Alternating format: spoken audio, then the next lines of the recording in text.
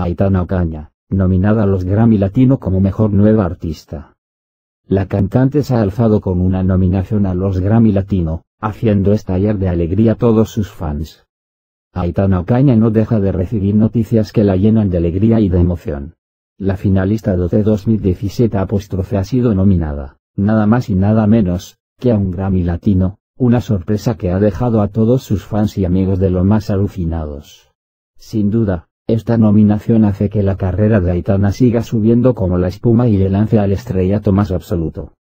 La catalana ha sido nominada en la categoría de Mejor Nueva Artista, una nominación muy importante que pondrá su nombre en boca de todo el mundo hasta que se celebre la gala de los Grammy Latino.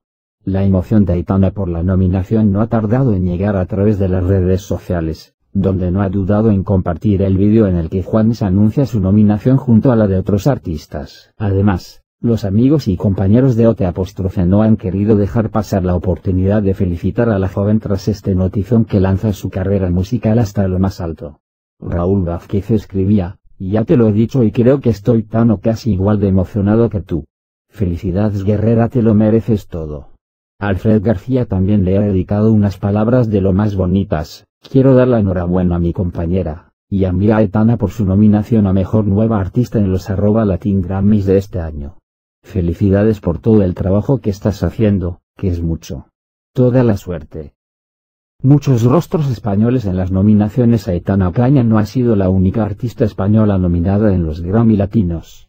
Alejandro Sanz encabeza la lista con, nada más y nada menos, que ocho candidaturas, mientras que Rosalía se alza con cinco. Por su parte, Leiva ha conseguido dos nominaciones, algo de lo más emocionante para el cantante.